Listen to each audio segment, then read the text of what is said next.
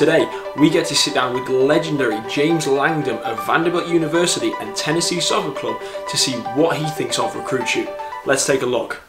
Perfect. So this is our social media feed. So right now, first thing, I'm signed in as an athlete. and I am signed in as a pro athlete, but I'll talk right. about the differentiating features between the free and the, the paid version from athletes later on.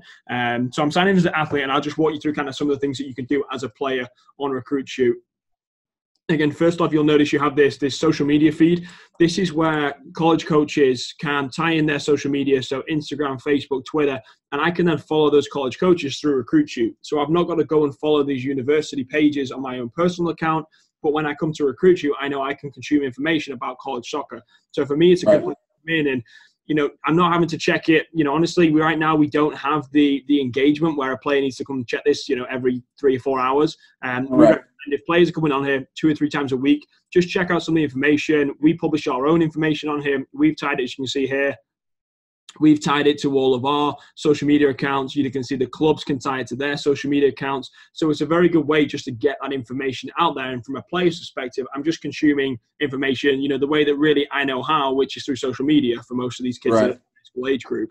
It's, it's trying to find a, a kind of a medium that works best with them. Um, I'll flip on here onto the overview of the player profile see here, you've got the individual game statistics. All of this is indexable by the college coaches. They can search for all of these. As we scroll down here, again, all of this information you can search by. And then here's when you're going to have the different clubs that you're associated with, as well as your camps, different schools that I favored as an athlete. They all appear on my profile as well. And then the academic right. Performance as well. And um, so it's kind of a combination of of everything that really when we talk with college coaches and said, hey, you know, what is it you need to not necessarily recruit a player, but pre-qualify an athlete. This right. is all the information. They said, hey, this is this is what we need. We need to know the academic side of it. We need to know why they want to attend different schools. And then if I can see what schools they're interested in, again, looking at here, you're looking at mainly Division three schools in the Midwest. If I can see that, I know that I'm then going to be a, a better fit for them or a not so great fit, depending on the schools that they're. Ah, nice. If that makes sense, it's um, it, right. it gives the college coaches a bit more of a an insight and allows them to, to really make sure that when they reach out to a player, you know, ultimately from a college coach, if you reach out to a player and recruit you, we want you to go in there knowing that that player is already interested in your school. You know, in a perfect world, right. if I'm looking at this, if I'm Kyle, Kyle Lowndes by the looks of things, if I'm Kyle Lowndes and I'm reaching out to this player, I already know that this player is interested in my school, Viterbo University. So again, right. it gives them more of an insight. And, and, as they, as a college coach, you will get a notification every time anyone favorites um, your particular university nice. as well. So you do keep up to date with that. Um, one thing on the on the clubs we always point out is that you can be attached to multiple teams, multiple clubs, and multiple rosters. So you see here, this player is on the Tonka United, you know, Chicago City, and the Recruit You Soccer Club.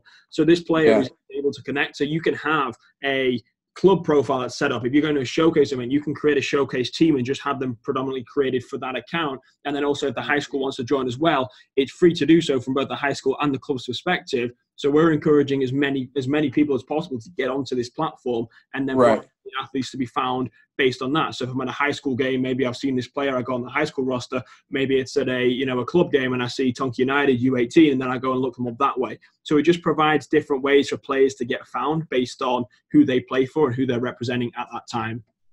Right. Any um, any questions on kind of the, the player overview or anything that you've seen so far, um, just on this side? I guess why don't just be like would so would the player need to contact the head coach and be like hey let's can we create this? Or uh when like you're saying with the high school if, if from a high school standpoint or oh uh, how does a player how, how does a club page or a high school page get created? Yeah yeah, so we um we work with the clubs and the high schools directly. So, for instance, a player could turn around to us and say, "Hey, you know," or, or, or turn around to the head coach and say, "Hey, listen, I'm on recruit you. My club hasn't hasn't signed up. You know, can you can you create this profile? It's free to do. All they have to do yeah. is get in contact with us. We actually set up the profiles for all the clubs and for the uh, high schools. You send us a CSV file. We go in there. We invite all the players, and then we hand it basically like a turnkey kind of uh, kind of approach. Yeah you your your complete club profile all the players have been invited. If they choose to, to accept the invitation, they come onto the platform. If they don't, it doesn't matter. Not everyone wants to play college soccer at the end of the day. It's um, right, right. It's not a requirement. You know, if you're a member of a club, you don't have to use this platform. We just encourage it if you are interested in looking at ultimately any university and or playing college soccer. Okay. It's um, no, it, it, it's a quite it's quite a straightforward way to do that from the clubs. Then again, I'll, I'll show you a quick a, a club's perspective. If we go on to uh, we go on one of our clubs in Minneapolis. If you come onto here and you come onto one of the different rosters, um, oh nice. So you have the rosters, you have all the players that created profiles here. You have all the players. You can see on this particular roster, we've got nine players there that have created profiles. The rest of the players just haven't created profiles. Again, that means right. it doesn't mean that they don't necessarily want to play college soccer. They just haven't created a profile yet, or they're not interested in playing college soccer. So again, right. It's not a differentiator. You don't have to do it to be on there. And um, again, from a from a player or a college coach that's looking at this roster now, I can come on here and I can just go straight to an individual player's profile as an athlete, I can't message him because it's another kind of peer or another athlete. Athlete, they're unable to right. each other.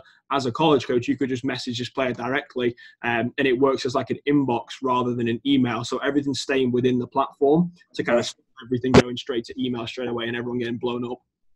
Nice. Yeah. Yeah. It's um, yeah, it, it's just uh, it, it's essentially when a club and a high school joins it, it's creating a an online portfolio and it's it's putting your players out there to be discovered as much as it's you know going to a showcase event as much as you're going to a tournament or an id camp when you join recruit you you're putting your players on this platform to be discovered and giving them the right. they need to actually get in there and recruit the players and be able to uh, sorry not to recruit the players to, to research the different schools based on the right. criteria that they need um, but yeah let me I'll, I'll flip over and show you quick how the how it works to search for colleges. So again, this is our, our college finder database. Um, now this is a this this is a list of or a database of every single college in the United States, regardless of if they have soccer or not. So again, if oh, I'm wow. not interested in playing college soccer, it's very easy for me to use this regardless. We actually think, and if you actually compare this to some of the the, the, databases that are out there just on the internet. I think this is, is, is one of the most powerful databases you will see. Um, wow come on here and say, right, I'm looking for men's and women's soccer. So I can put that in there. I can search by a zip code and I can say, you know, most kids are usually going within 250 mile radius, and then I'm looking at Division Three. So straight away there, I can start to find the list of those colleges that are going to match my criteria. Again, our, yeah. internet, our internet here is a little bit slow. Just give that a second. Oh, Again, here's all the colleges that are going to match that criteria. If you notice here on the match, all these percentages, based on the individual preferences that I put on my profile as an athlete, that's going to then give me oh, the percentage yeah. of every college. So I can start to see which are going to be the good fit for me. Again, this doesn't necessarily mean you're going to graduate in four years. It doesn't mean you're going to have the best time of your life just because you have a 100% match. You could end up going to one with a, a 75% match and, you know, have a way better time. It's it, it's just yeah, yeah. to kind of guide players and guide really the parents are looking which schools to go to. So you see here, all these schools, these are the coaches. You can see Michael Prunty there. You've got Sarah Meyer, Logan Fine. These are the different college coaches that are now associated with these universities. So when I click on a given university and it takes me to their university profile, again, using uh, this was Wisconsin Whitewater, you can look right. on here. I can go to the website if I wanted more information, or I can come back here and I can commit oh, to this. Nice. I can go straight to the coach's profile and just message Scott Surprise, for instance. I could just send him a message straight away, and it would then go straight into his inbox on RecruitChute. Again, removing yeah. to have these emails getting sent back and forth. If that makes sense. Yes. Any uh, any questions on anything you've seen so far? I know I've thrown kind of a lot of information. It's, well, it's very comprehensive. It's very impressive. Um, so, I mean, in my case, then it would be um, would we create a, a profile through Tennessee Soccer Club, and then like you did with your club, your clubs there, um, we create different teams, and then if I wanted to get my O5s involved, I would just kind of send send them RecruitChute links to encourage them to um, create profiles that way. Yeah, so if, if you're interested in getting involved on the club level, what we would say to you is, first of all, I mean, just double check with the entire club that it's something that the club would want to would want to push forward with. Um, we do allow individual teams, and we can just set you up one team on here. Obviously, it works a lot better from the club's perspective because then it's going to attract you know attract different college coaches based on different teams that they know that are on there. Right. So if, if, if the club's trying to go, yeah, you know, we want to do this, this is something that we're interested in, there's two ways we can do this. So we can either either get your initial account set up and then say and we have all the videos online. We have if you actually go on here we have our, our help center which will take you to everything you could ever think of possibly you know going on the platform. So there's that way. That's more effort on your guys' end because obviously you go in you create the team profiles you invite the players or we say to the club if you provide us with a csv file of all the players, their first name and email, team that they're on is all that we need. From there, we go in and we set it up for you and then say, here's your email and password as the club admin. We'll invite yeah. the coaches. You guys, it's all set up there, and it's almost like a turnkey approach. Um, right. And then we have, you know, complete privacy policies. We don't have any third-party partners or anything like that, which is some questions we've uh, we've been asking. Yeah, I'm sure do we what do we use this data for? This data is exclusively used for the onboarding process and then sending um, actually um, we send information, kind of educational resources that we publish on our blog. We send them to all the players as well. And um, that's the only the kind of the only use we have for the the emails of the athletes. But every club always says to us, you know, what what what are the the privacy policy you guys have in place already? Right, right but it's um, no i mean it's, it's a very straightforward thing to do. Usually we you know usually we're doing um, you know two or three times a week we set up times and have some of the guys on our team actually go in and take care of this. And um, it's not a same day kind of thing. Usually it's done within two weeks of when we receive the csv file and we do then get in right. contact and say to the say to the club, hey, we'll now follow up with a string of seven or eight emails to parents with um, guides, resources, um, and also links for if they do have any questions, frequently asked questions. And the last thing we want is then the players blowing up you guys and saying, hey, how do I do this? How do I do this? When they can just contact us directly as well. Um, yeah website, we do have a, um, a, a live chat feature, which you can chat with us um, through there. It's I think it's nine till five right now. We have it on um, in the evenings. It's a little bit hit and miss. We're not always manning it. Right. Uh, at a time, but anytime nine till five, you have someone guaranteed to be able to respond to any questions there as there as well. Nice. Um, but no, I mean, another question would be yep. if if a player is, like is unaffiliated like if I have one player that wants to create a profile, um, how how will they be found that way, or will they then be on them mostly to send their profile to coaches? Is it kind of both? Like the college could be searching through the athlete or through the club, or is it more the players are sending these profiles out? Yeah, so there's there's two ways that you can get fast. So if you're an athlete that's not affiliated with a club or a high school, so you're just on there on there by yourself, and um, there's two ways you can get found. Right now, our user base is about two thirds with a club, and about a third of the, the the athletes on this platform are just come on to us through you know social media or finding us through Google. Um, right. So once you create your profile, because all the information that you put on your on your profile is indexable, as an athlete or as a club, as a college coach, I can still search for athletes. It's only college coaches the only ones that can message them. So I can yeah. say I'm looking for you know males that have a GPA of above uh, you know 3.0. And then we can come down here and you can say in different states. You could say that okay. different, or you even have the desired stages there. I'll keep it quite broad right now. You can search for different athletes going to match that criteria. Again, using nice. using you know Alexander for example here, San Francisco, California clicking on this athlete's profile, as we scroll down, you can see there are no clubs affiliated with this athlete. However, I could still oh, reach out to them as a college coach if I was interested in pursuing that athlete and learning more about them. And if right. I'm an athlete that's more proactive, if you look here onto the view profile, so I'm just gonna, I'm actually just gonna move this down here if you look on here, you see how you have your profile dash uh, eight nine for this for this yep. profile. So I have the option to download a PDF if I wanted to to actually print off this profile and take this with me to showcase events. Oh, nice. Yeah. The same thing of complete rosters.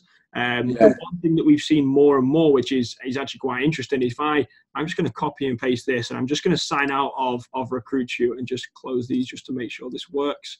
Um, and then I'm going to view this profile as somebody that's not signed in.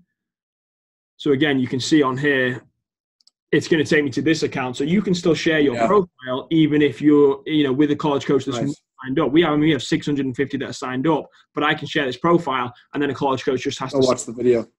Yeah, and yeah, you can still watch the video. They sign up; it's going to take you straight to that profile, um, and then you can reach out to them. You know, if you needed. We just we just all the coaches that are using this to be on our platform, so that we can ultimately just control who's using this and who's messaging athletes, um, and right. people are who they say they are. Right. Any uh, no any any other questions though on, on anything you've seen so far from either the uh, the club or the the athlete's perspective? No, it's very good. It's very good. It's very uh comprehensive, and I like that a lot. Most cool. platforms do not have the um, coaching college coaches you follow piece on the front, and I love that. Thank you. No, I appreciate that. It's um, yeah, it's one of the things that we've seen from the engagement of the the college coaches as well. Because again, I mean, you might have 300, 400. Some, I mean, some of them have, you know, 10, 15,000 followers on, on Instagram, but it's very few. Right. You're looking at that and you see some of these colleges, you know, they got 300, 400 followers. It's like, if you attach this, you're going to be instantly attached to thousands of athletes nationwide. Yeah. Absolutely. So that they can follow it and it's all, it's all there straight away. And it's, you know, it's, it's another way to market your ID camps and showcases as well. You know, you publish right your Instagram, it's pulled straight away onto the platform, which is exclusively made for you know college soccer recruiting. So everyone on here is a viable prospect or a viable recruit to any given event. Yeah, it's a great marketing tool as well. Yeah, no, it's um, yeah. This is this is one from the college coaches that they've they've definitely seen the uh, the benefit from from getting in there and connecting the social media. Um, one thing that we would like to do is actually just have it where you automatically follow every single college coach on there, so that it's just yeah all you're doing is seeing a news feed of university information, so you don't have to. Right. Go, you can obviously unfollow and hide different ones if you'd like to, um, but we'd like to just have it where all you're doing is seeing college coach information on this page. Nice. Um, any other questions on anything you've seen? I'll, I'll let me close out of this screen so we can see each other again. Yeah, I'd love to see the the video, like how the, the video is just quick upload. Yeah, can, can you still see my screen now? Yeah, yeah, I can. Yeah, so uh, yeah, so the video on here, this is just a YouTube video. Um, I'll just mute that. Again, you can then, if you go onto your media, you can put them all full screen. On the top screen, it's just going to be there. Oh, nice. I like that. That's on cool. the media. And again, talking with that transcript earlier, you've got all that information there. If I want to, let's try and do this without, there we go, full screen there. I just keep that muted. You can then just watch a highlight tape. Um, we embed with YouTube, video, uh, sorry, not video, Vimeo and Hudl. Um, so all those completely integrate with that. If I wanted to add other ones on there, I just come on here and just copy and paste a URL. It, it you know, most most athletes. That's so easy. Yeah, most of them at this point can figure out how to do that pretty straightforward. It's, yeah it's not yeah it's not meant to be complicated um, the only thing we don't do is the the video editing software um, to be yes. honest you, we'd rather we'd rather you do it with a company that that knows how to do that and is going to be um, kind of that's their bread and, bread and butter and then our bread and butter is actually promoting these videos and having right. you know, you know we just we looked at getting into it and it's just something that we didn't think was uh, uh it'd be so much extra work again it just, it just didn't seem to make sense i think most most people use Hudl at this point so you know, if you can't beat them, join them. Kind of was our attitude with that. Yeah, yeah, yeah. It's um, yeah, certainly makes it a little bit easier on our end, and then you know they can just go in there and they can. I mean, you can you can edit videos on YouTube if you want to, and just literally just plop them straight into there now. Nice. Um, so from the from the player's perspective, the one thing we didn't talk about was the, the difference between the, the paid and the free version from a player. So right now, yeah. this is a paid athlete. The only differences between a free and a paid athlete is on a free version, you get this video up in the top corner, but you don't get this complete media section. So you have to right. upgrade if you wanted to have multiple videos, multiple images. Um, and if I click on if I click on here, you can see different college coaches have viewed my profile. Um, right. As a free athlete, I'm still going to get notified every time a coach has viewed my profile or every time a coach has favorited me. So I can still see if it's working. It's just that I won't get this view visitor statistics. This will be locked if I'm on a free version. So I can't see uh, individual coaches have seen my profile, how often they nice. View my profile, and when the last time that they did. And um, so it gives you a little bit more of an insight to the platform. Obviously, right. the logic behind that is that if if it's working, then it, it's worth paying for. If it's not worth it, not working, then it's not worth paying for. Um, yeah how why we did it that way. Um, and then again, it, with that with that shareable URL, you get the option to create a customizable customizable um, URL with that as well. So you know, recruityou.io slash Chris Roach or slash you know, right, right. Whatever, whatever that would be in there as well. But other, other than that, that's the um, that's the only differences between the free and the paid. We wanted to make it as uh, as comprehensive as possible for the yeah. version, so that I still have the incentive there. Sure. Yeah, I mean, we just if it doesn't work, it doesn't work. So we want to make sure that the free version was still doing more than than basically everyone else, and then from there, yeah. those insights in there. Um, if they want to upgrade, if they want to kind of go that above and beyond. Ultimately, do you need it? No, but is it nice to have? Absolutely. If you absolutely. Yeah, truly looking at being that um, you know that that next recruited athlete.